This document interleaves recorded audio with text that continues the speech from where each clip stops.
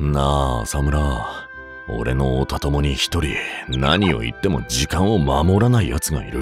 うわぁやだねそれ。毎回遅刻するってこと？そう毎回だ。こないだも映画の約束を保護にされ俺もいよいよ限界だ。二度としないようしっかり説教してやりたい。うんうん。友達だからこそその人のためにちゃんと叱るのは大事だよね。そこで遅刻する奴に改善してほしい問題点を5つ挙げる。浅村の意見も欲しい。それをもとに俺はそのおたともを構成させてやる。マルってなんだかんだ面倒見いいよな。陰キャ男子の兄と。ドライな妹。義妹生活。さーて今日はマルと出かける約束なんだけど。待ち合わせは12時だからまだ2時間もあるな。よしゲームして時間潰すか。はい。一つ目の問題点。遅刻するやつはまず準備を始めるのが遅い。まあ順番としては出かける準備をして時間があればゲーム。だよね。正直時間に間に合うなら家で何しようが全然構わないんだよ。でも遅刻の常習犯だからこんなところも指摘されるんだな。よしじゃあ次の問題点だ。今日はさっきとお出かけ。でもまだ余裕あるな。早めに出てきたし。早く着きすぎちゃうのも嫌だし。ちょっとカフェでもやっちゃわーっと。その後20分の電車に乗れば。うん時間ぴったりに着くし。いいよね。問題点その210分前行動できないやつが多すぎる。確かに。ぴったりに到着すればみたいなことは思ってそうだよね。ああだがな。人と待ち合わせているなら10分前行動は基本中の基本だ。カフェに寄るならせめて待ち合わせ場所近くにしておけ。なんかだんだんただの愚痴っぽくなってきたけど。まだまだあるぞ。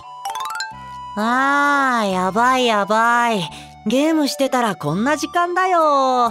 もう遅刻確定だよな。まあでも遅刻するとしてもちょっとだしもしかしたら丸も遅れるかもだしそんなに焦らなくてもいっか。その3遅刻するやつは相手も遅刻するだろうとなぜか考えがち。うん。自分が基準だから相手も同じだと思っちゃうのかな。そうかもしれんあまりにも自分に都合のいい考え方で失礼千番だがな。遅刻は約束を破る上に相手の貴重な時間をも奪う行為だと自覚してもらわないと。しかし温厚な丸にここまで言わせるなんてすごい遅刻魔だな。けない。カフェでのんびりしすぎちゃった。急げ急げ。えー、っと待ち合わせ場所まで電車で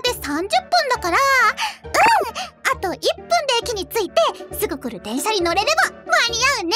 え嘘遅延。そんなの計算に入れてその4そもそもの見通しが甘い。うわーこれはあるあるだね。スケジュール管理できてない人の。まさしくだ。もしもの場合を一切想定せず物事を都合よく考えすぎなんだ電車の時間を調べておくのは常識だしそれに合わせてきちんとスケジュールをだな。やばい。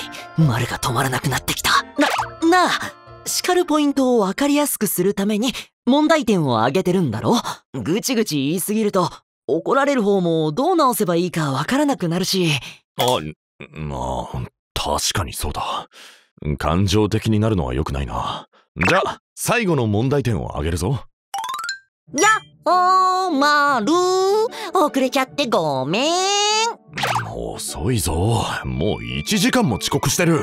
いやーそれがさゲームがなかなかきれいところで終われなくってさ来ると思ってた電車も遅延するしとにかく遅刻は俺のせいじゃないんだ。